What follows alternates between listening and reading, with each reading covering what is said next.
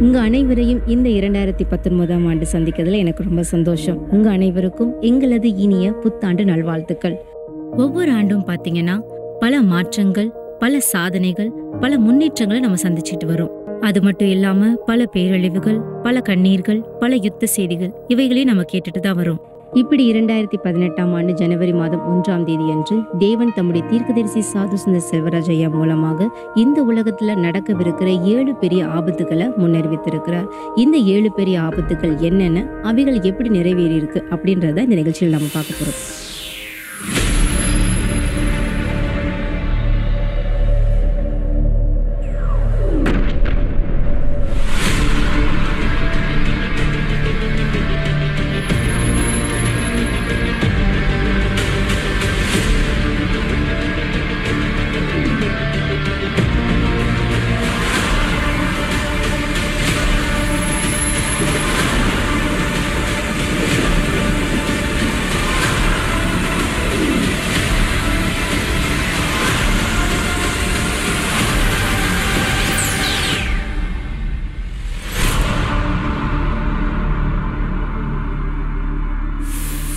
கர்த்தராக இயேசு கிறிஸ்து முதலாவதாக வெளிப்படுத்திய தீர்க்க தரிசன வார்த்தை நம்முடைய இந்திய தேசத்தை குறித்து தான் இப்போ நம்முடைய இந்திய தேசத்தை குறித்து தேவன் என்ன தீர்க்க தரிசனம் வெளிப்படுத்தினார் அது எப்படி நிறைவேறி இருக்கு அப்படின்றத நம்ம பார்ப்போம் Firstly, he spoke about India.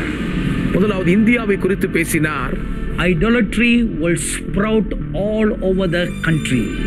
விக்கிரக ஆராதனை தேசம் முழுவதும் முளைத்தெழும்புமாம் Huge statues will rise up all over the land. தேசம் முழுவதும் பிரம்மாண்டமான சிலைகள் எழும்புமாம் If you read Daniel chapter 3, தானியேல் மூன்றாம் அதிகாரத்தை படிப்பீர்களானால் King Nebuchadnezzar made a huge statue and forcibly commanded all the people to bow down and worship the statue. நேபுகாத் நேச்சார் ஒரு மிக பிரம்மாண்டமான சிலையை நிறுவி குடிமக்கள் யாவரும் அதை பணிந்து கொள்ளும்படி பலவந்தமாய் கட்டாயப்படுத்தினான் And the statue that Nebuchadnezzar made was gold. நேபுகாத் நேச்சார் நிறுவின சிலை பொன்னான சிலை Similar statues like that, golden statues, will be made all over the land. அதற்கிணையான பொற்சிலைகள் தேசம் முழுவதும் நிறுவப்படும் Churches will be persecuted and blood will flow. திருச்சபைகள் துன்பப்படுத்தப்படுவதனால் ரத்தம் சிந்தப்படுமாம் Cries of my people will be heard all over the land. என் ஜனங்களின் அழுகுரல் தேசத்தின் எல்லையெங்கும் கேட்கப்படும் என்கிறார் ஜனவரி இருபது இரண்டாயிரத்தி பதினெட்டில் காஞ்சிபுரம் மாவட்டம் அடையாளச்சேரி கிராமத்தில் மக்னாயின் தேவாலயத்தின் போதகர் கிதியோன் பெரியசாமி மர்ம நபர்களால் கொலை செய்யப்பட்டிருந்தார் பதினொன்று இரண்டாயிரத்தி பதினெட்டு அன்று மதுரை மாவட்டத்தில் குறைந்தபட்சம் மூன்று கிறிஸ்தவ ஆராதனை கூடங்கள் அளிக்கப்பட்டன. மற்றும் போதகர்கள் தவறாக நடத்தப்பட்டு அச்சுறுத்தப்பட்டும் மற்றும் தாக்கப்பட்டனர் மதுரை நகர காவல்துறைக்கு உட்பட்ட வேறு இரண்டு ஜெப வீடுகளை இதே கும்பல் தாக்கியுள்ளது.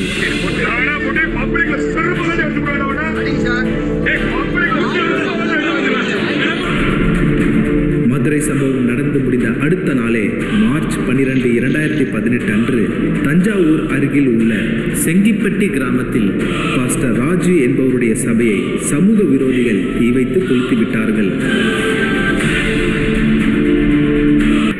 ஜனவரி இருபத்தி ஆறு இரண்டாயிரத்தி பதினெட்டு அன்று மத தீவிரவாதிகள் தெலுங்கானாவில் உள்ள சிங்கோத்தம் கிராமத்தில் இருநூறுக்கும் அதிகமான பைபிள்களை பொது இடத்தில் வைத்து எரித்தனர்.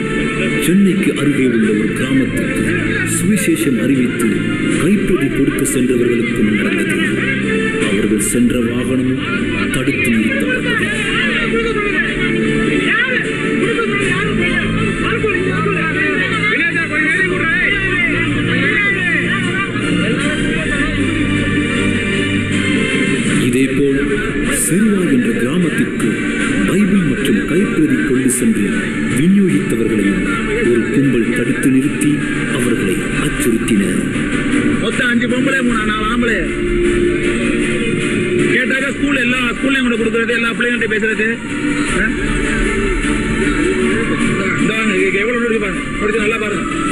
எல்லாரும் பாருங்க.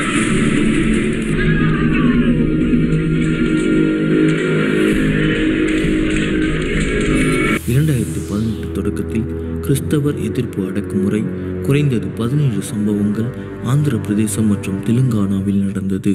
ஆந்திர பிரதேசம் மற்றும் தெலுங்கானாவில் மத சுதந்திர சுதந்திரம் ஏடிஎஃப் இந்தியா மூலம் பதிவு செய்யப்பட்டுள்ளது.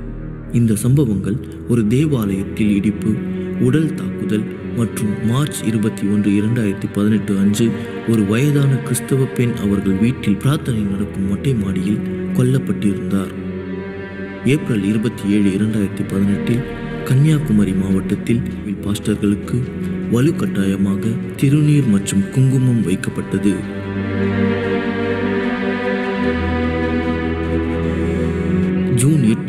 இரண்டாயிரத்தி பதினெட்டு அன்று கேரளத்தின் கொங்கஞ்சலில் உள்ள மூன்று போதகர்கள் தீவிரவாத குழுவினரால் தாக்கப்பட்டனர்.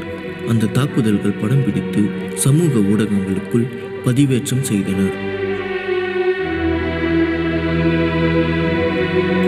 ஆகஸ்ட் ஐந்து இரண்டாயிரத்தி பதினெட்டு அன்று பஞ்சாப் மாநிலத்தில் ஒரு சிறுமி தன்னுடைய குடும்பத்தினர் கிறிஸ்தவர்கள் ஆனதால் கூட்டாக கற்பழிக்கப்பட்டு கொல்லப்பட்டாள்.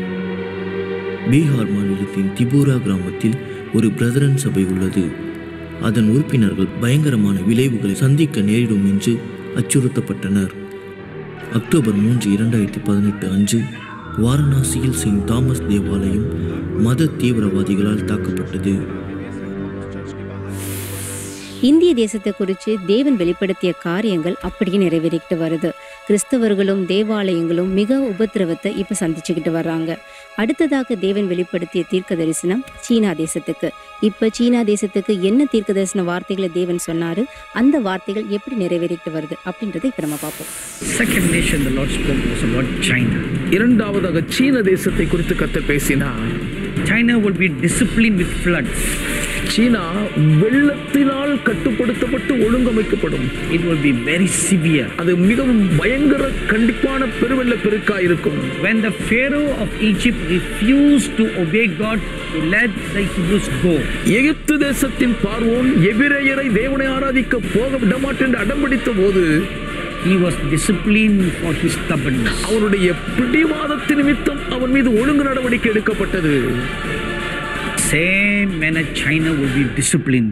அதே விதமாக சீனாவும் ஒழுங்கு நடவடிக்கைக்குள்ளாகும் When Pharaoh was judged ten times by God, பார்வோன் தேவனால் பத்து முறை நியாயம் தீர்க்கப்பட்ட போது finally repented.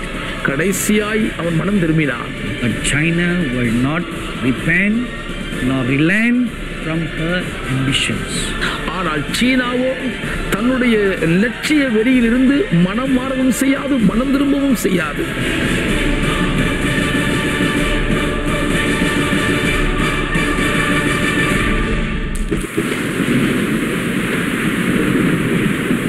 மார்ச் ஐந்து இரண்டாயிரத்தி பதினெட்டில் சீனாவின் நான்சாங்கில் பெய்த பலத்த காற்றுடன் கூடிய கனமழையானது விமான நிலையத்தின் கோரையை விசிறி எறிந்தது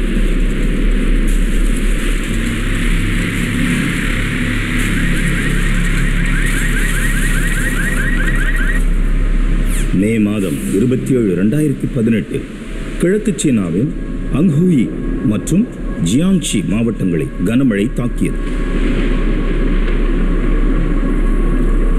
பல இடங்களில் வெள்ளத்தின் பாதிப்பினால் மக்கள் வெளியேற முடியாமல் தவித்தனர். பயிர்களும் சேதமடைந்தது. அந்த நகரத்தின் தீயணைப்பு படையினர் மீட்புப் பணிகளில் ஈடுபட்டனர். அவர்கள் வெள்ள நீரை அப்புறப்படுத்தி அவ்விடத்து மக்களை மீட்டனர். அதிகாரிகள் அவசர கால திட்டம் ஒன்றை அமல்படுத்தி மக்களை பாதுகாப்பான இடத்திற்கு மாற்றினர். ஜூன் எட்டு மற்றும் ஒன்பது ரெண்டாயிரத்தி பதினெட்டில் சீனாவின் குவாங்டாங் மாநிலத்தில் எவினியார் சுழல் காற்றில் இருபத்தி நான்கு மணி நேரத்திற்குள் இருநூற்றி ஐம்பது மில்லிமீட்டர் மழை கொட்டி தீர்த்தது. ஜூன் எட்டின் நிலவரப்படி எழுபத்தி மூன்றாயிரம் மக்கள் பாதுகாப்பான இடங்களுக்கு மாற்றப்பட்டுள்ளனர். இந்த புயலின் பாதிப்பினால் குவாங்டாங்கின் தலைநகரான குவாங்சோ பையூன் சர்வதேச நிலையத்தின் விமானங்கள் காலதாமதமாக புறப்பட்டது.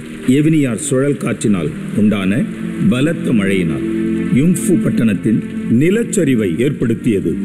இந்த நிலச்சரிவினால் பல வீடுகள் சரிந்து விழுந்தது. ஐந்து மக்கள் மறித்தனர் குவாங்டாங்கின் பொதுப்பணித்துறை அதிகாரிகளின் அறிக்கைப்படி ஒருவரை காணவில்லை. ரெண்டாயிரத்தி பதினெட்டில் ஜூன் இருபத்தி நாலு குவாங்ஷியின் தன்னுரிமை இடங்களில் கனத்த மழை பெய்தது.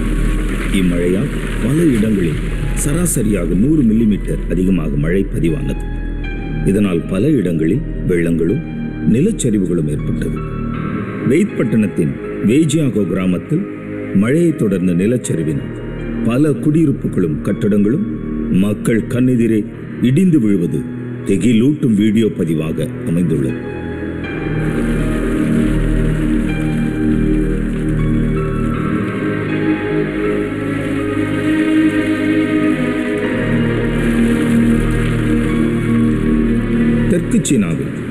லட்சத்தி இருபத்தி இரண்டாயிரத்திற்கும் மேலான மக்கள் கனத்த மழையினால் பாதிக்கப்பட்டனர். மற்றும் மூவாயிரத்தி எட்நூத்தி எண்பது ஹெக்டேர் பரப்பிலான பயிர்கள் வெள்ளத்தில் சேதமடைந்தன. கடுமையான புயல் மற்றும் மழையால் இருநூறு வீடுகள் இடிந்து விழுந்தது. ஆயிரக்கணக்கான மக்கள் இடமாற்றம் செய்யப்பட்டனர்.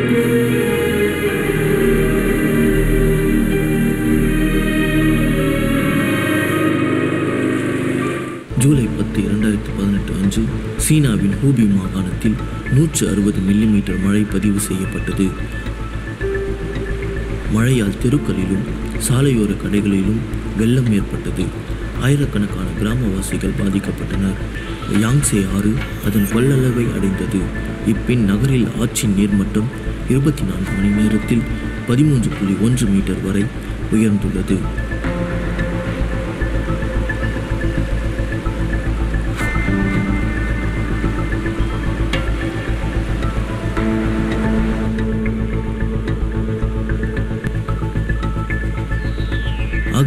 இருபத்தி ஒன்று இரண்டாயிரத்தி பதினெட்டு அன்று வடகிழக்கு சீனாவில் இருபதற்கும் அதிகமான மக்கள் மழையினால் இறந்தனர்.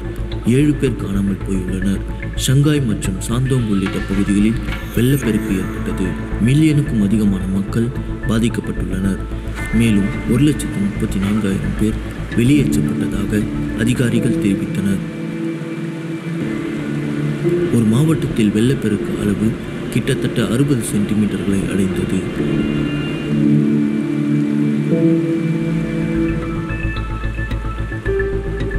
வெள்ள வீடுகளுக்கும் வணிகத்திற்குமான மின்சாரம் விநியோகத்தை துண்டித்தது. நான்கு புள்ளி எட்டு பில்லியன் சீன யுவான் மதிப்பிலான வெள்ள பாதிப்பு ஏற்பட்டுள்ளதாக அரசாங்கம் மதிப்பிட்டது. இரண்டாயிரத்தி பதினெட்டாம் ஆண்டில் சீனாவை தாக்கிய பதினெட்டாவது சூறாவளி ரூம்பியா சூறாவளி ஆகும் செப்டம்பர் பதினைந்து இரண்டாயிரத்தி பதினெட்டு அன்று சீனாவின் தெற்கு கடற்கரையில் மன்ஹூட் சூறாவளி தாக்கியுள்ளது. புயல் ஹாங்காங்கை தாக்கிய போது நூறுக்கும் மேற்பட்டவர்கள் காயமடைந்தனர்.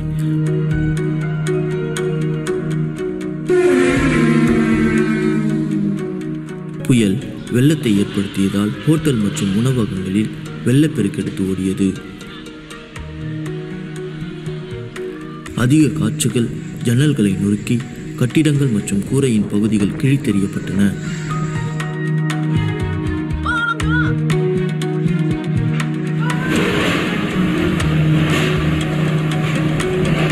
மன்ஹியூட் பின்னர் குவாங்டாங் மாகாணத்திற்கு வந்தது. அங்கு கடுமையான வெள்ளம் ஏற்பட்டது. இரண்டு புள்ளி நான்கு மில்லியனுக்கும் அதிகமான மக்கள் இப்பகுதியிலிருந்து வெளியேற்றப்பட்டனர். மொத்த பொருளாதார இழப்புகள் நாடு முழுவதும் ஐந்து புள்ளி மூன்று பில்லியன் சீன யுவான் மதிப்பிடப்பட்டிருக்கின்றன. மன்ஹூட் இரண்டாயிரத்தி பதினெட்டாம் ஆண்டின் உலகளாவிய வலுவான வெப்பமண்டல சூறாவளியாகும். தேவன் வெளிப்படுத்தினபடியே சீனாவில் அழிவுகளும் அழிவுக்கேதுவான காரியங்களும் நடந்துக்கிட்டு வருது. மூன்றாவதாக தேவன் வட கொரியாவை குறித்து வெளிப்படுத்தியிருக்கிறார். வட கொரியாவில் என்ன நடக்கும்னு தேவன் வெளிப்படுத்தினாருன்றதையும் அது எப்படி நிறைவேறி இருக்கு அப்படின்றதையும் இப்போ நம்ம பார்ப்போம். Third nation, மூன்றாவது தேசம் North Korea.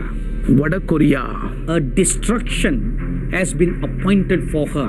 ஒரு பேரழிவு அந்த தேசத்துக்கு நிர்ணயிக்கப்பட்டிருக்கிறது Her people will suffer hunger and starvation. வடகொரி மக்கள் பசி பட்டினியில் வாடுவார்கள் and famine will spread in the nation. அந்த தேசத்தில் பஞ்சம் கோர தாண்டவம் ஆடும்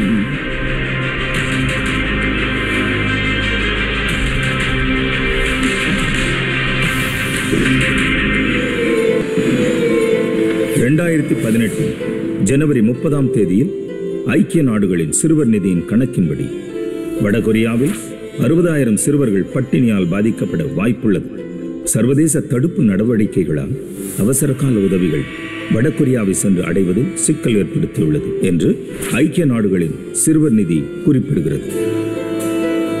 வடகொரியாவின் ஊட்டச்சத்து மற்றும் கடுமையான உணவு பற்றாக்குறையினால் இரண்டு லட்சம் சிறுவர்கள் பாதிக்கப்பட்டுள்ளனர்.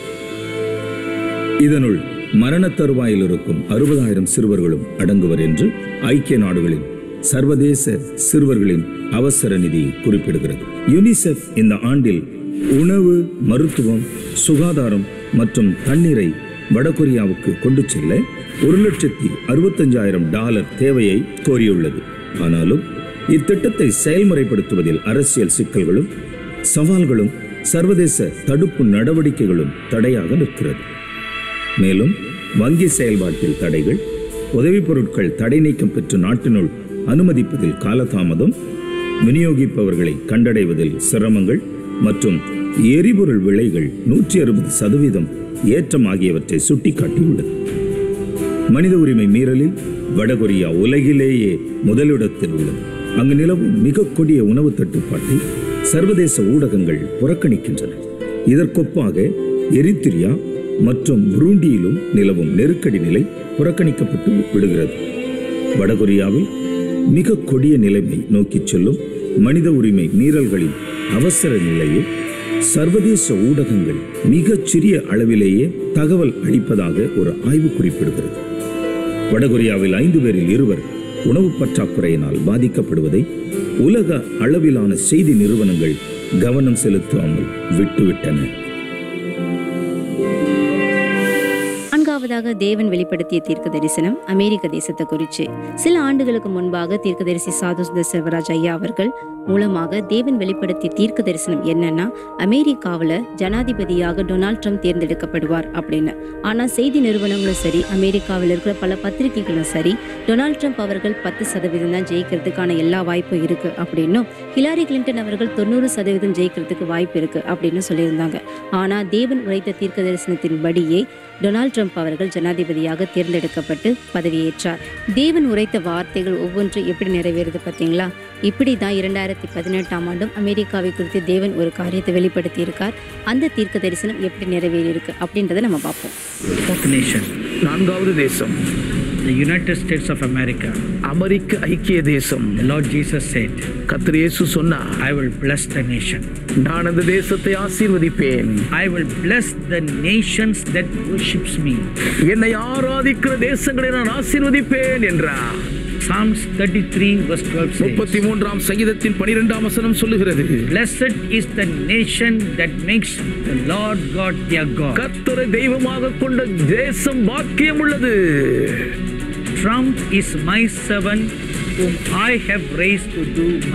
என் சித்தத்தை நிறைவேற்றும்படி நான் எழுப்பின என் ஊழியக்காரனே ட்ரம்ப் என்றார். He will be my shepherd to guard and protect my people Israel. என் ஜனமாயிருக்கும் இஸ்ரவேலரை பாதுகாப்பதற்காக நான் எழுப்பியிருக்கும் என் மேய்ப்பன் என்றார்.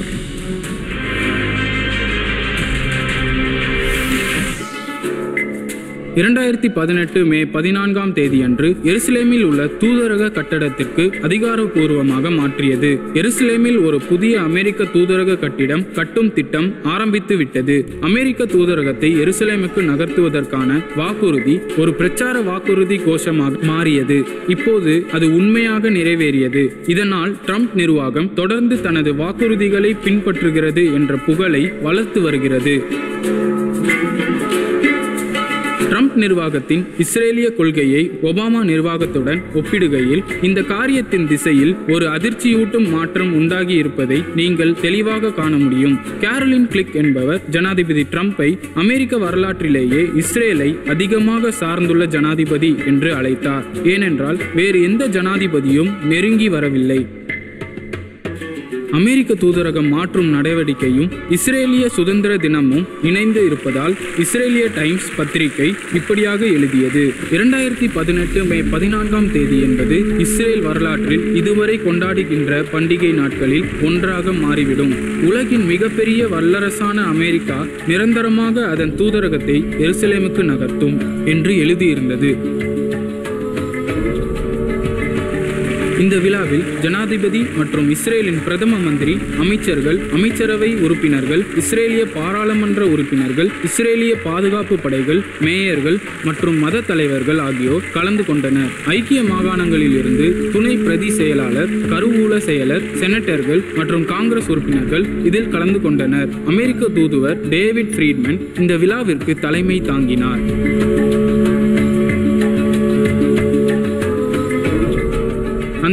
நடந்த விழாவில் அமெரிக்க ஜனாதிபதி டொனால்ட் ட்ரம்பினால் கலந்து கொள்ள முடியவில்லை ஆனால் அந்த விழாவை கௌரவிக்க ஒரு செய்தியை பதிவு செய்திருந்தார் Exactly 70 years ago, the United States, under President Harry Truman, became the first nation to recognize the State of Israel. Today, we officially opened the United States Embassy in Jerusalem. Congratulations. It's been a long time coming. Almost immediately after declaring statehood in 1948, Israel designated the city of Jerusalem as its capital. The capital the Jewish people established in ancient times. So important. Today, Jerusalem is the seat of Israel's government. It is the home of the Israeli legislature and the Israeli Supreme Court and Israel's prime minister and president.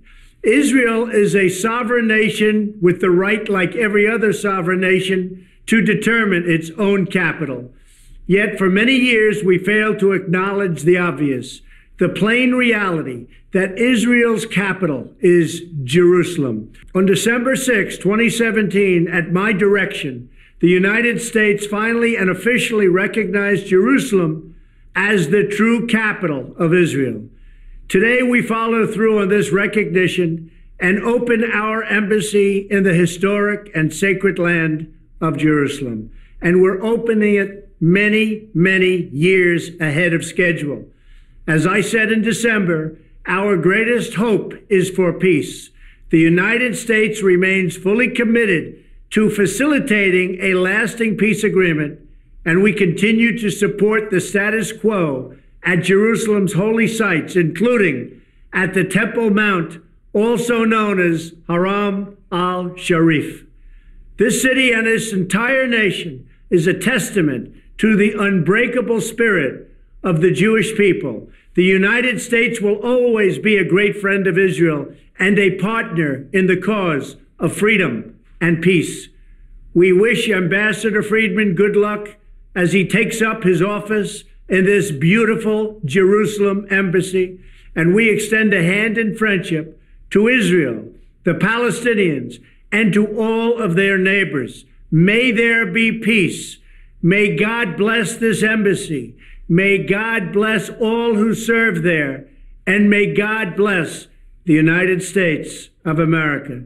Thank you. Have a fantastic day. பின்னர் Steven Mnuchin என்ற அமெரிக்காவின் கருவூல செயலர் மற்றும் ஜனாதிபதி Donald ட்ரம்பின் மூத்த ஆலோசகர் மற்றும் இவான்கா ட்ரம்ப்பும் சேர்ந்து அமெரிக்க ஐக்கிய நாடுகளின் தூதரகத்தின் முத்திரையை வெளியிட்டார்கள். அதற்கு பின் அதன் அர்ப்பணிப்பின் அறிக்கையை படித்தனர்.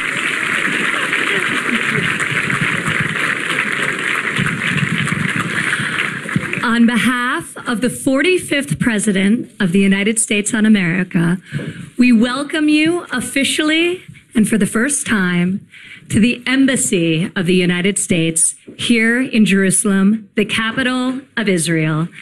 Thank you.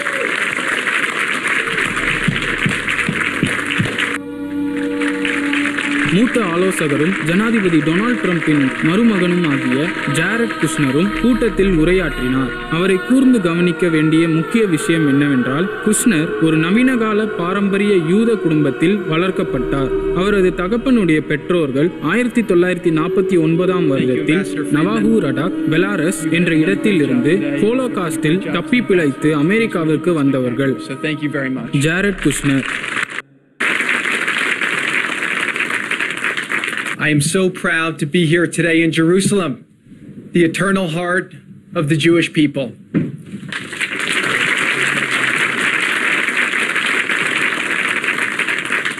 And I am especially honored to be here today as a representative of the 45th President of the United States, Donald J. Trump.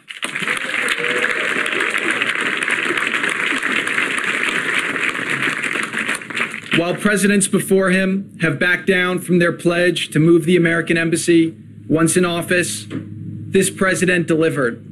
Because when President Trump makes a promise, he keeps it.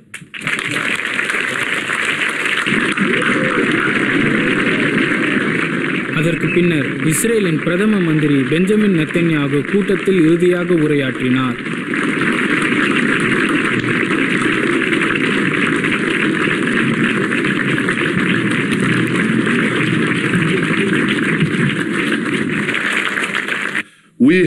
no better friends in the world. You stand for Israel and you stand for Jerusalem. Thank you.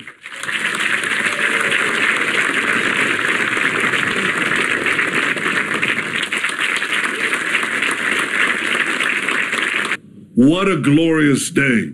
Remember this moment.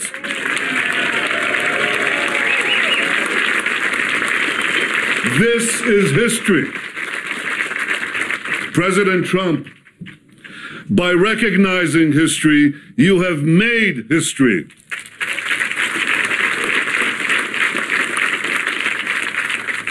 Today, the most, the embassy of the most powerful nation on earth, our greatest ally, the United States of America, today its embassy opened here.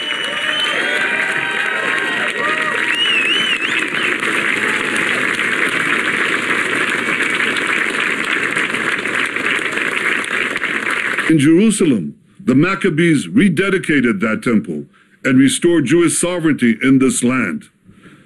And it was here in Jerusalem, some 2,000 years later, that the soldiers of Israel spoke three immortal words Har Habayit Be'adenu. The Temple Mount is in our hands.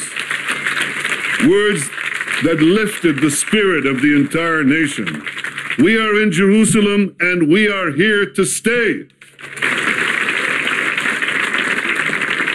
May the opening of this embassy in this city spread the truth far and wide, and may the truth advance a lasting peace between Israel and all our neighbors. God bless the United States of America, and God bless Jerusalem, the eternal, undivided capital of Israel. ברוך אתה אדוני, אלוהינו מלך העולם, שהחיינו וקיימנו והגיענו לזמן הזה. Thank you very much.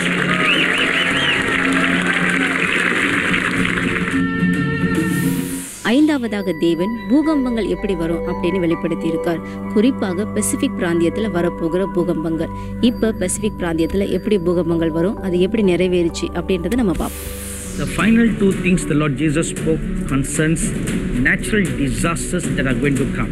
கர்த்தர் இயேசு சொன்ன கடைசி இரண்டு காரியங்கள் வரப்போகிற இயற்கை சீற்ற பேரழிவுகளின் நாச மோசங்களை பற்றியதாகும் Earthquakes in the Pacific region will increase.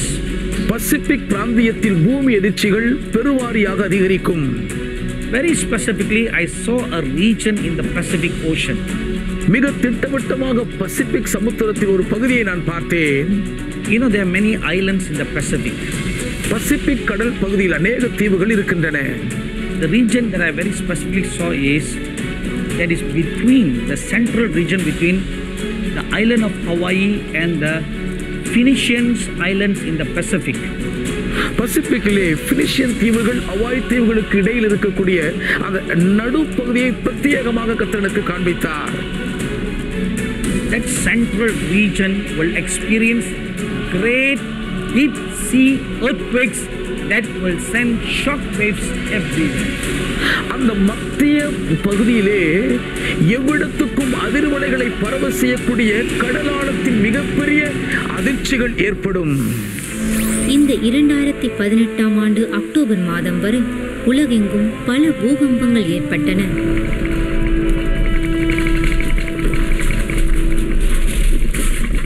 இதில் ஆயிரத்தி நானூற்றி ஒன்பது பூகம்பங்கள் ஐந்து முதல் ஐந்து புள்ளி ஒன்பது அளவும் தொன்னூற்றி ஆறு பூகம்பங்கள் ஆறு முதல் ஆறு புள்ளி ஒன்பது அளவும் பதினோரு பூகம்பங்கள் ஏழு முதல் ஏழு புள்ளி ஒன்பது அளவும் மற்றும் ஒரு நிலநடுக்கம் எட்டு முதல் எட்டு புள்ளி ஒன்பது அளவாகும். இரண்டாயிரத்தி பதினெட்டில் ஏற்பட்ட பூகம்பத்தில் மூவாயிரத்தி நூற்றி நாற்பத்தி ஏழு பேர் மறித்துள்ளனர் அதில் இரண்டாயிரத்தி இருநூற்றி ஐம்பத்தி ஆறு பேர் இந்தோனேஷிய நிலநடுக்கத்தில் மட்டும் உயிரிழந்துள்ளது குறிப்பிடத்தக்கது. இரண்டாயிரத்தி பதினெட்டு பெரு நிலநடுக்கம். ஜனவரி பதினான்கு இரண்டாயிரத்தி பதினெட்டு பெருநாட்டின் உள்ளூர் நேரப்படி ஏழு புள்ளி ஒன்று அளவிலான பூகம்பம் ஏற்பட்டது. இந்த பூகம்பம் பசிபிக் கடலில் முப்பத்தி ஒன்பது கிலோமீட்டர் ஆழமும் அகாரியில் இருந்து முப்பத்தி ஒன்பது கிலோமீட்டர் தென்மேற்கிலும் நிலை கொண்டிருக்கிறது. இதில் இருவர் மரணம் அடைந்தனர் நூற்றி முப்பத்தி ஒன்பது பேர் காயமடைந்தனர். மேலும் பச்சை செங்கல்லால் கட்டப்பட்ட நானூற்றி நாற்பத்தி மூன்று வீடுகள் பலத்த சேதமடைந்தன. சாலைகள் சேதமடைந்ததால் கிராமப்புற பகுதிகளுக்கு உதவிகள் சென்று அடைவதில் தாமதம் ஏற்பட்டது. பல பெருநகரங்களில் மின்சார தடை ஏற்பட்டது.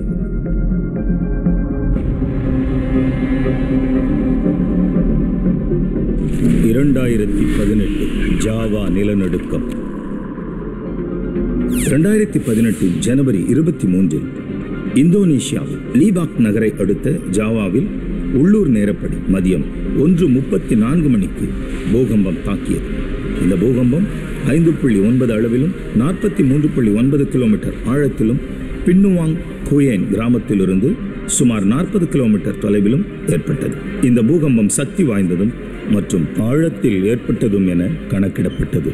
மாண்டான் லாம்பாங் மேற்கு ஜாவா மத்திய ஜாவா மற்றும் ஜகார்டாவில் வலுவான குழுக்கள் ஏற்பட்டதாக தகவல்கள் தெரிவிக்கின்றன. மேற்கு ஜாவாவிலும் பாண்டாங்கிலும் சொத்துக்கள் சேதமடைந்தது. லீமாக்கில் ரெண்டாயிரத்தி எழுநூற்றி அறுபது கட்டிடங்களும் சுகபூமியில் மூவாயிரத்தி அறுநூத்தி அறுபத்தி ஒன்பது கட்டிடங்களும் சேதமடைந்துள்ளன. லீபாக் மற்றும் சுகபூமியில் இருவர் மாரடைப்பால் மரணமடைந்தனர். மேலும் முப்பத்தைந்து பேர் காயமடைந்தனர்.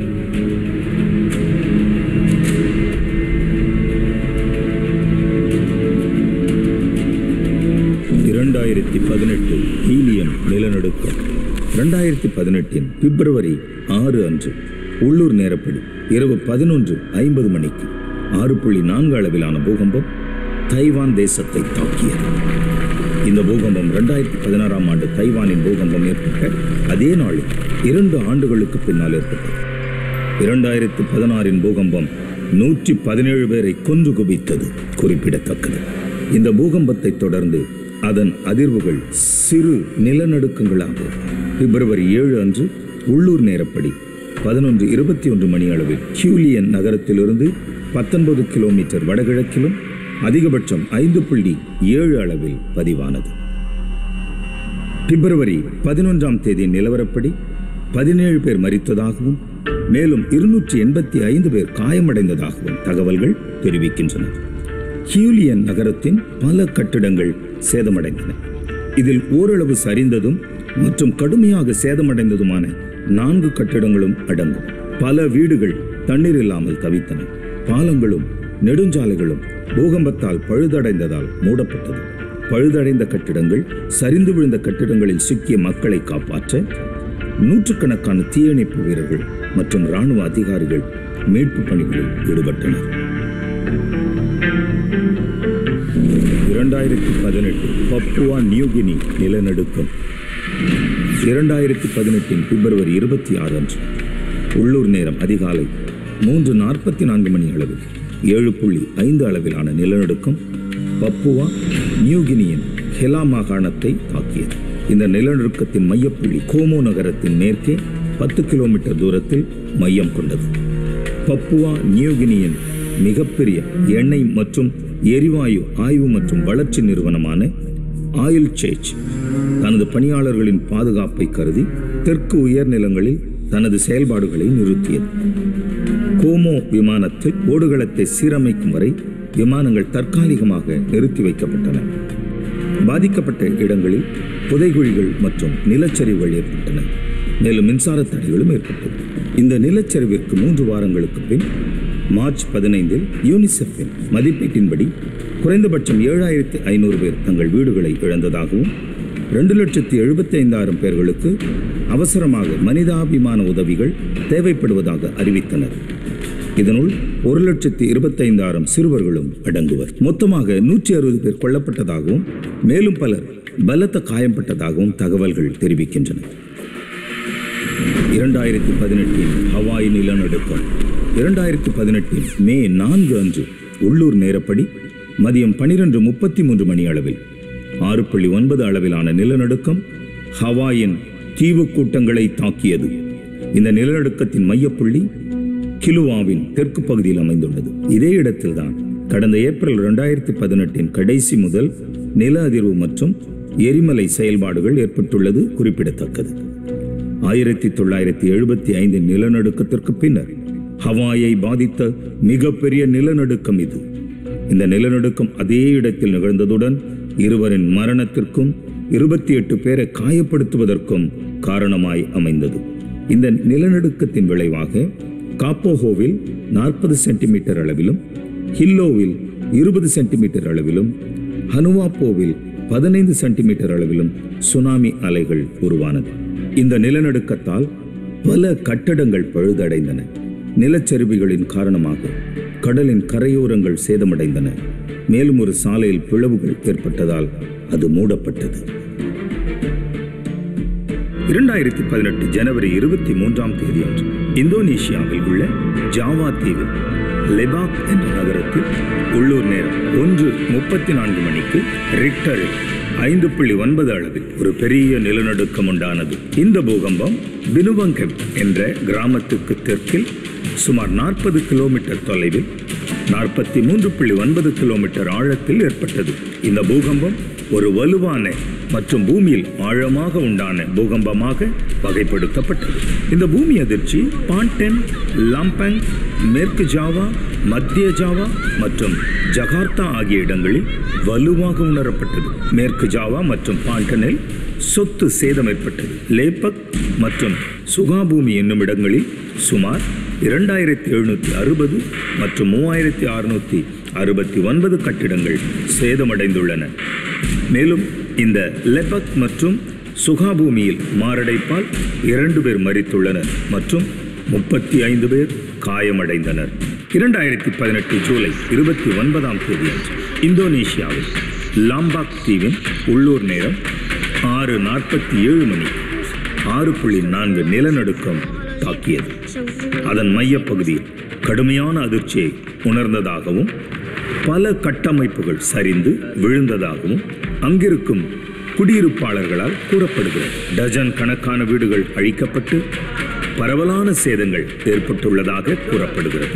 அதில் ஏற்பட்ட அதிர்ச்சி பத்திலிருந்து இருபது வினாடிகளுக்கு நீடித்தது. இதுவரை லாம்போக்கை தாக்கிய நிலநடுக்கத்திலேயே இந்த முறை ஏற்பட்ட நிலநடுக்கம் கடுமையாய் ஏற்பட்டதாக உள்ளூர்வாசிகள் கூறியுள்ளனர். இந்த நிலநடுக்கம் பாலியில் உள்ள டென்பசர் போன்ற தொலைவில் இருக்கும் இடங்களிலும் இந்த நிலநடுக்கத்தை உணர முடிந்தது. பாலியில் உள்ள கரங்ககேசம் ரீஜென்சி என்ற ஒரு கோவில் சரிந்தது. மேலும் ஒரு உள்ளூர் நீதிமன்றம் சேதமடைந்தது. ஹைக்கிங் சுற்றுலா பயணிகள் தங்கியிருக்கும் ரிஞ்சனி மலைத்தொடரின் வடப்பகுதிகளில் நிலச்சரிவுகள் உண்டாயின. எண்ணூற்று இருபத்தி ஆறு ஹைக்கர்கள் மலை மீது சிக்கிக்கொண்டு உதவிக்காக காத்திருக்கின்றனர் என்று அதிகாரிகள் கூறினர். கிழக்கு லாம்போ ரீஜென்சியின் தலைநகரான செலாங்கில் டாக்டர் சொட்ஜொனோ என்ற பிராந்திய ஆஸ்பத்திரியிலிருந்து டஜன் கணக்கான நோயாளிகள் வெளியேற்றப்பட்டனர். மேலும் செபலூன் என்ற இடத்தில் உள்ள ஒரு சமூக சுகாதார மையம் கணிசமாக சேதமடைந்துள்ளது. இந்தோனேஷியன் கிளைமேட்டாலஜி அண்ட் ஜியோபிசிக்ஸ் என்ற வானவியல் ஏஜென்சியின் மூலமாக சுமார் இருநூற்றி எழுபத்தி ஆறு பூமி எதிர்ச்சிகள் ரெக்டாரில் ஐந்து புள்ளி பூஜ்ஜியத்திலிருந்து ஐந்து புள்ளி ஐந்து அளவாக அதிகாரிகள் பதிவு செய்துள்ளனர் அதில் மிகப்பெரிய அதிர்வாக ரெக்டார் ஐந்து புள்ளி ஏழாக உள்ளூர் நேரம் பத்து பதினாறு மணி அளவில் பதிவு செய்யப்பட்டுள்ளது.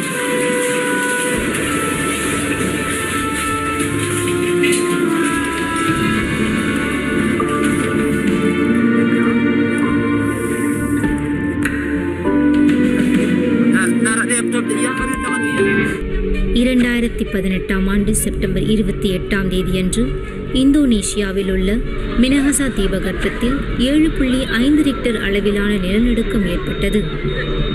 இந்த நிகழ்விற்கு முன் பல முன் அதிர்வுகள் ஏற்பட்டது. அதில் மிகப்பெரிய அளவிலான ஆறு புள்ளி ஒன்பது அதிர்வு ஏற்பட்டது. நிலநடுக்கத்தை தொடர்ந்து அருகிலுள்ள மக்காசார் ஜலசந்திக்கு சுனாமி எச்சரிக்கை வழங்கப்பட்டது. பின்பு ஒரு உள்ளூர் சுனாமி பாலு பகுதியை தாக்கியது. தன் வழியில் இருந்த கடலோர வீடுகள் மற்றும் கட்டிடங்களை வாரிக்கொண்டு சென்றது. பிஎம்கேஜி என்ற இந்தோனேஷிய வானியல் அறிவிப்பு நிறுவனம் பதிமூன்று முதல் இருபத்தி மூன்று அடி உயரமான சுனாமி எழும்பியதை உறுதிப்படுத்தியது. நிலநடுக்கம் மற்றும் சுனாமி ஆகியவற்றின் ஒருங்கிணைந்த விளைவால் குறைந்தபட்சம் ஆயிரத்தி நானூற்றி இருபத்தி நான்கு பேர் மறித்தனர். மேலும் இரண்டாயிரத்தி ஐநூற்றி நாற்பத்தி ஒன்பது பேர் காயமடைந்தனர். நூற்றி பதிமூன்று பேர் காணாமல் போயினர். மற்றும் எழுபதாயிரத்தி எண்ணூற்றி இருபத்தி ஓரு பேர் வெளியேற்றப்பட்டனர். இரண்டாயிரத்தி ஆறாம் ஆண்டு ஏற்பட்ட யோகியகார்டா பூகம்பத்தை விட அப்பகுதியில் மிக கடுமையான பாதிப்புகளை ஏற்படுத்தியது இந்த பூகம்பம். மேலும் இந்த பூகம்பமே இரண்டாயிரத்தி பதினெட்டாம் ஆண்டில் உலகளாவிய அளவில் மிக அதிக அழிவை ஏற்படுத்திய பூமி எதிர்ச்சியாகும்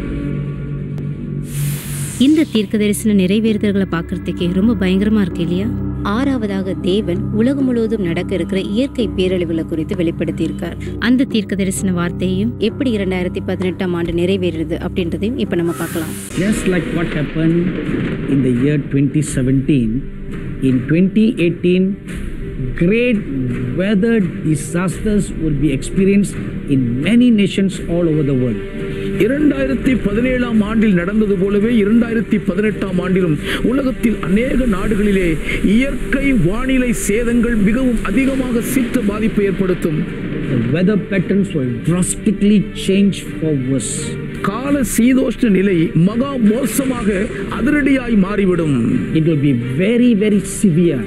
அது மகா கொடூரமாய் மூர்க்கத்தனமாய் தாக்கும் Dark thunderstorms sending waves of hurricanes and tornadoes into many, many nations.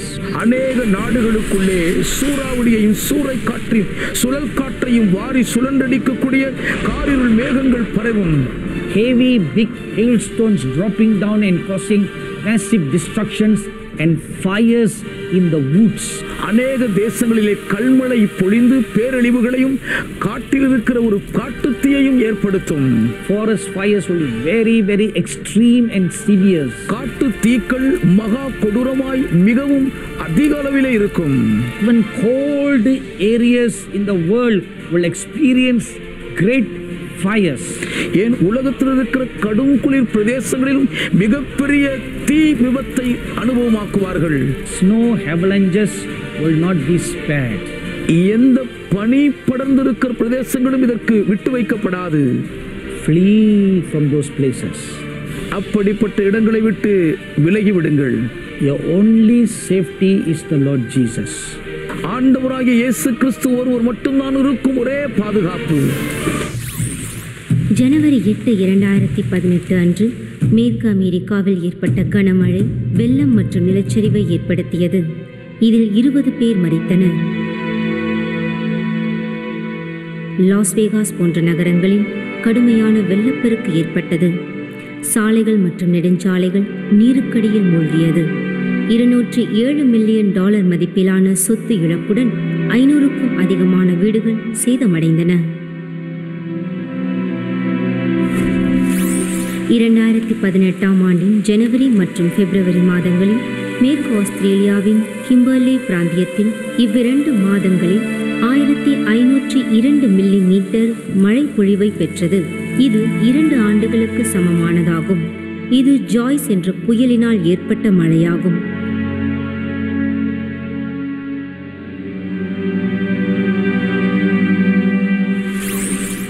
இரண்டாயிரத்தி பதினெட்டாம் ஆண்டு மார்ச் மாதத்தில் Kenya Ethiopia Uganda Rwanda Somalia Djibouti மற்றும் புருண்டி போன்ற கிழக்கு ஆப்பிரிக்க நாடுகளில் ஏற்பட்ட வெள்ளத்தால் லட்சக்கணக்கான மக்கள் பாதிக்கப்பட்டனர் கடுமையான வறட்சிக்கு பிறகு அதிகமான மழை பெய்ததுடன் இரண்டாயிரத்தி பதினெட்டாம் ஆண்டு ஜூன் மாதம் வரை பெருவெள்ளம் நிலச்சரிவுகள் ஏற்பட்டு பல அணைகள் நிரம்பி வழிந்தது. கிட்டத்தட்ட ஐநூறு பேர் உயிரிழந்துள்ளனர். லட்சக்கணக்கானோர் இடம்பெயர்ந்துள்ளனர்.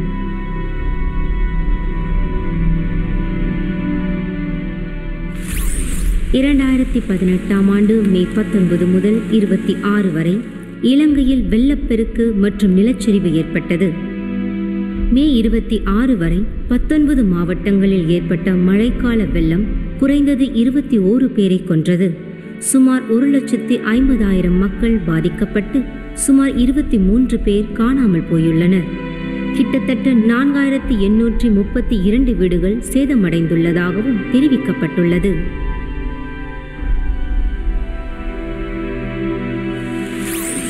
இரண்டாயிரத்தி பதினெட்டாம் ஆண்டு மே இருபத்தி ஏழாம் தேதியன்று மகத்தான புயலால் சுமார் இரண்டு மாதங்களுக்கு மழை பெய்தது. இருபத்தி நான்கு புள்ளி ஏழு சென்டிமீட்டர் மழை இரண்டு மணி நேரத்தில் பெய்ததால் அமெரிக்காவில் உள்ள மேரிலாந்தின் எலிகோட் நகரின் சுற்றியுள்ள பகுதியில் பேரழிவை ஏற்படுத்தும் வெள்ளம் புரண்டோடி பல சாலைகள் மற்றும் கார்கள் நீரில் மிதந்தன.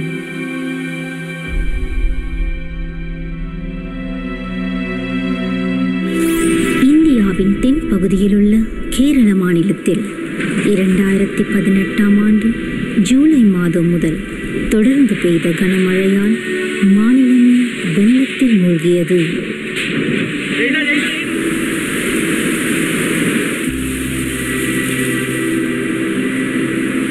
ஆகஸ்ட் இருபத்தி எட்டாம் தேதியின்படி பதினான்கு மாவட்டங்களில் உள்ள ஐயாயிரத்தி அறுநூற்றி நாற்பத்தி ஐந்துக்கும் மேற்பட்ட நிவாரண முகாம்களில் பனிரெண்டு லட்சத்தி நாற்பத்தி ஏழாயிரத்தி ஐநூறுக்கும் மேற்பட்டோர் தஞ்சமடைந்தனர்.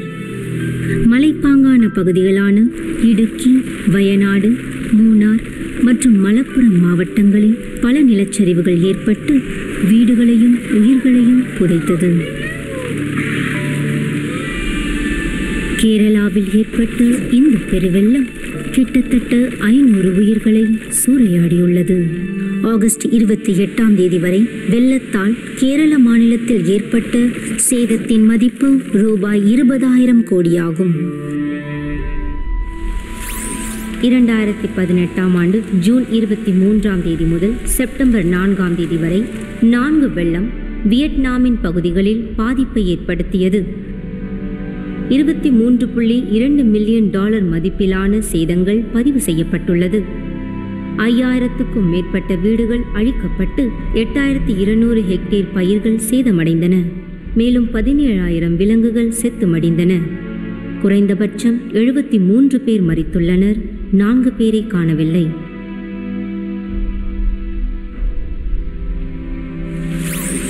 ஜூன் பிற்பகுதி முதல் ஜூலை நடுப்பகுதி வரை தென்மேற்கு ஜப்பானில் தொடர்ச்சியான கடுமையான மழை காரணமாக பேரழிவு தரும் வெள்ளப்பெருக்கையும் சேற்று வெள்ளங்களையும் விளைவித்தன.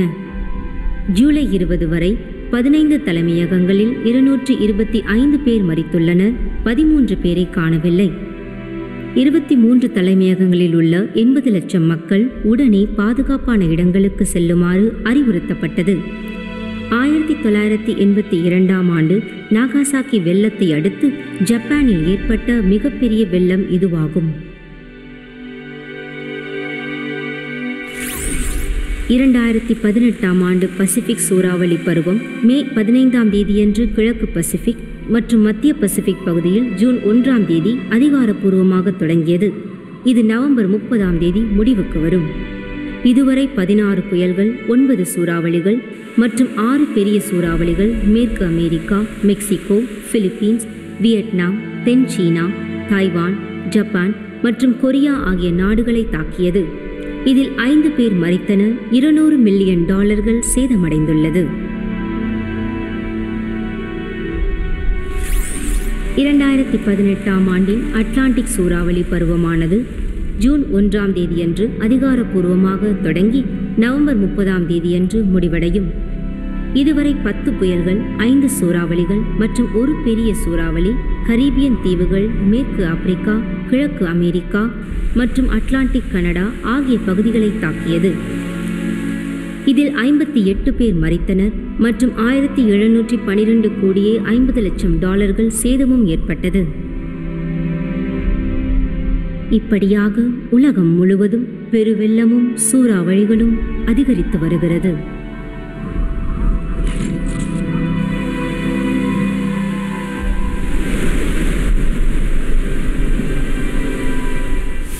ஜனங்கள் தங்களை பாதுகாத்துக்கொள்ள பல வழிகளை கண்டுபிடிக்கிறாங்க. ஆனாலும் அவங்கள பாதுகாத்துக்கொள்ள யாராலையும் முடியலைங்க. ஏன்னா நம்மளுடைய ஆண்டவராக இயேசு கிறிஸ்துவின் ரத்தம் மாத்திரம்தான் நம்மளை பாதுகாக்க முடியும். இப்பொழுதும் கடைசியாக தேவன் பிட்காயினை குறித்து வெளிப்படுத்தி இருக்கிறார் அந்த தீர்க்கதரிசன வார்த்தை என்ன? அது எப்படி நிறைவேறினது? அப்படின்றத நம்ம பார்ப்போம். There will come a fall, a sliding in the economies. பொருளாதாரத்திலே ஒரு மிகப்பெரிய வஞ்சகமான வீழ்ச்சி ஏற்படும் When the Lord spoke this, கர்த்தர் இதை பேசிய போது I perceive in my spirit about the falling of the economy, especially concerning Bitcoin. பிட்காயினை பொறுத்த மட்டில்தான் இந்த பொருளாதார சிதைவை குறித்து ஆவியில் நான் உணர்கிறேன் Bitcoin is becoming very popular these days. இந்த நாட்களிலே பிட்காயின் பிரபலம் அடைந்து வருகிறதை பார்க்கிறோம் Be careful. ஜாக்கிரதையாயிருங்கள் Uh, It will plunge and it will fall. அது அப்படியே சிதைந்து நொறுங்கிவிடும் The Bible says, வேதம் சொல்லுகிறது Mark chapter 10, verse 24. மார்க்கு பத்து இருபத்தி நான்காம் வசனத்திலே First Timothy chapter 6, verse 17. ஒன்று திமுத்தி ஆறு பதினேழாம் வசனத்திலும் Woe to all those who put their trust in their riches. தங்கள் ஐஸ்வர்யத்தையும் செல்வத்தையும் நம்பியிருக்கிறவர்களுக்கு ஐயோ இரண்டாயிரத்தி பதினேழாம் ஆண்டில் முன் எப்போதும் இல்லாத ஏற்றம் ஜனவரி ஆறு முதல் பிப்ரவரி ஆறு இரண்டாயிரத்தி பதினெட்டு வரை ஒரே மாதத்தில் பிட்காயின் விலை அறுபத்தி ஐந்து சதவீதம் குறைந்தது அதன் பின்னர் கிட்டத்தட்ட அனைத்து பிற குறியீடுகளும் டிசம்பர் இரண்டாயிரத்தி பதினேழு முதல் ஜனவரி இரண்டாயிரத்தி பதினெட்டு வரை உச்சநிலையை அடைந்தன. இரண்டாயிரத்தி பதினெட்டாம் ஆண்டின் முதல் காலாண்டில் மூலதன கடன்களின் சந்தை மூலதனம் குறைந்தது. முன்னூற்று நாற்பத்தி இரண்டு பில்லியன் அமெரிக்க டாலர்களை இழந்துள்ளது. பின்னர் மிகப்பெரிய இழப்பு ஏற்பட்டது. செப்டம்பர் இரண்டாயிரத்தி பதினெட்டு வரை டிஜிட்டல் பணங்கள் ஜனவரி இரண்டாயிரத்தி பதினெட்டில் உச்சநிலையில் இருந்தது. எண்பது சதவீதம் சரிந்தது. டோட் காம் குமிழி எழுபத்தி எட்டு சரிவை காட்டிலும் இரண்டாயிரத்தி பதினெட்டு டிஜிட்டல் பணம் சரிவு மோசமாகிவிட்டது. இரண்டாயிரத்தி பதினேழாம் ஆண்டில் பிட்காயினின் விலை அதிகபட்சமாக இரண்டாயிரத்தி எழுநூறு சதவீதமாக உயர்ந்திருந்தது. அதே ஆண்டில் சில டிஜிட்டல் பணத்தை விட மிக அதிக வளர்ச்சியை அடைந்தன. பிட்காயின் டிசம்பர் பதினேழு இரண்டாயிரத்தி பதினெட்டு அன்று பிட்பென்சில் பரிமாற்றத்தில் பத்தொன்பதாயிரத்து எட்நூற்றி தொண்ணூற்றி ஒன்று அமெரிக்க டாலர்கள் பதிவு செய்யப்பட்டது. சிகாகோ வாரியம் விருப்பங்கள் செலவானி மற்றும் சிகாகோ மெர்கண்டைண்ட் எக்ஸ்சேஞ்ச் டிசம்பர் மாதத்தில் பிட்காயின் எதிர்காலங்களை பட்டியலிட்ட போது இது முக்கிய முதலீட்டாளர்களை பெரிய அளவிலான சிறிய பிட்காயின் நிறுவனத்திற்கு அனுமதித்தது. சரிவிற்கு முன் பிட்காயின் உச்சத்தை எட்டியது. பின்னர் ஜனவரி ஆறு இரண்டாயிரத்தி பதினெட்டு அன்று பதினேழாயிரத்தி இரநூற்று ஐம்பத்தி இரண்டு அமெரிக்க டாலர்களுக்கு விரைவாக மீட்டெடுத்த போதிலும் நாற்பத்தி ஆறு சதவீதம் இறங்கியது. இப்போது பிட்காயின் வளர்ச்சி மற்றும் வீழ்ச்சியின் கால சரிவை பார்க்கலாம். டிசம்பர் பதினேழு இரண்டாயிரத்தி பதினேழு அன்று பிட்காயின் சுருக்கமாக அதன் எல்லா நேரத்தையும் இருபதாயிரம் டாலர்களை அடைகிறது. டிசம்பர் இருபத்தி இரண்டு இரண்டாயிரத்தி பதினேழு அன்று பிட்காயினின் விலை பதினோராயிரம் டாலர்களாக குறைவாக இருந்தது. அதன் உச்சத்திலிருந்து நாற்பத்தி ஐந்து சதவீதம் சரிந்தது. ஜனவரி பனிரெண்டு இரண்டாயிரத்தி பதினெட்டு அன்று தென்கொரியா டிஜிட்டல் பண வர்த்தகத்தை தடை செய்ய தயாராக இருப்பதாக வதந்திகளுக்கும் இடையே பிட்காயினின் விலை பனிரெண்டு சதவீதம் சரிந்தது. ஜனவரி இருபத்தி ஆறு இரண்டாயிரத்தி பதினெட்டு அன்று ஜப்பான் மிகப்பெரிய டிஜிட்டல் பணமாக காயின்செக் திருடப்பட்டது. என்இஎம் நிறுவனத்தின் ஐநூற்றி முப்பது மில்லியன் அமெரிக்க டாலர்களை ஹேக்கர் மூலம் திருடப்பட்டது. இந்த திருட்டு உலகளவில் ஏற்பட்ட மிகப்பெரிய இழப்பாகும். இதனால் காயின்செக் காலவரையின்றி வர்த்தகத்தை நிறுத்தியது. மார்ச் ஏழு இரண்டாயிரத்தி பதினெட்டு அன்று ஒழுங்கற்ற வர்த்தகங்களை செயல்படுத்துவதற்கு சமரசப்படுத்தப்பட்டு ஃபினான்ஸ் ஏபிஐ சாவிகள் பயன்படுத்தப்பட்டன. ஃபேஸ்புக் கூகுள் மற்றும் ட்விட்டர் முதன் முதலில் காயின்செக் நாணயங்களை வழங்குவதற்கான விளம்பரங்களை தடை செய்துள்ளன. ஜனவரி இருபத்தி ஆறு முதல் பிப்ரவரி ஆறு இரண்டாயிரத்தி பதினெட்டு வரை பிட்காயினின் விலை பாதியாக குறைந்தது. ஆறாயிரம் அமெரிக்க டாலர்கள் என்று அடிமட்டத்திற்கு இறங்கியது. இரண்டாயிரத்தி பதினெட்டாம் ஆண்டின் முதல் காலாண்டில் டிஜிட்டல் பணம் சந்தைக்கு கூடுதல் எதிர்மறை செய்திகள் தொடர்ந்தது. இரண்டாயிரத்தி பதினெட்டாம் காலாண்டில் சிறிது மீளாய்வும் செய்த நிலையில் விலை குறைவாக இருந்தது. நவம்பர் பதினைந்து இரண்டாயிரத்தி பதினெட்டு அஞ்சு முதல் அக்டோபர் இரண்டாயிரத்தி பதினேழிலிருந்து முதல் தடவையாக நூறு பில்லியன் டாலர்களுக்கு குறைவாக பிட்காயின் சந்தை மூலதனம் குறைந்துவிட்டது. மேலும் பிட்காயினின் விலை ஐந்தாயிரத்து ஐநூறு டாலர்களாக சரிந்தது. இந்த பிட்காயின் மூலமாக தேவன் நமக்கு எந்த நஷ்டமும் வரக்கூடாது அப்படின்னு இந்த காரியங்களை நமக்கு வெளிப்படுத்தி தேவன் நம்மேல் எவ்வளவு கண்ணோக்கமாக இருக்கிறார் அப்படின்றது நமக்கு தெரியப்படுத்தி இருக்கிறாருங்க இந்த தீர்க்கதரிசன வார்த்தைகளை கேட்குற நாம அதற்காக ஜெபம் பண்ண வேண்டியது நம்ம கடமையாக இருக்குதுங்க. நாம கேட்குற ஒவ்வொரு தீர்க்க தரிசன வார்த்தைகளையும் நம்ம இருதயத்தில் பதித்து அதனுடைய உத்தரவாதத்தை உணர்ந்தவர்களாக நம்ம நடந்து கொள்ளணும். இரண்டு பேதரு ஒன்றாம் அதிகாரம் பத்தொன்பதாம் வசனத்திலிருந்து இருபத்தோராம் வசனம் வரைக்கும் தேவன் என்ன உரைத்திருக்கிறார் அப்படின்னா அதிக உறுதியான தீர்க்க தரிசன வசனமும் நமக்கு உண்டு பொழுது விடிந்து விடிவெள்ளி உங்கள் இருதயங்களில் உதிக்கும் அளவும் இருளுள்ள ஸ்தலத்தில் பிரகாசிக்கிற விளக்கை போன்று அவ்வசனத்தை கவனித்திருப்பது நலமாயிருக்கும். அது மட்டும் இல்லைங்க இருபதாம் வசனத்துல வேதத்தில் உள்ள எந்த தீர்க்க தரிசனமும் சுய தோற்றமான பொருளை உடையதா இராது என்று நீங்கள் முந்தி அறிய வேண்டியது. தீர்க்க தரிசனமானது ஒரு காலத்திலும் மனுஷருடைய சித்தத்தினாலே உண்டாகவில்லை. தேவனுடைய பரிசுத்த மனுஷர்கள் தேவ ஆவியினாலே ஏவப்பட்டு பேசினார்கள். இப்படின்னு சொல்லப்பட்டிருக்கிறங்க? கத்தராக இயேசு கிறிஸ்துவின் வார்த்தையில எப்பொழுதும் நம்ம கவனம் செலுத்துவோம் அதை ஏற்றுக்கொண்டு அதற்காக ஜெபிப்போம். ஆண்டவராக இயேசு கிறிஸ்துவின் வருகை மிக சமீபமாக இருக்கிறது. அதற்காக நாம் ஆயத்தப்படுவோம் பிறரையும் ஆயத்தப்படுத்துவோம். சிங்காசனத்தில் வீற்றிருக்கும் மகா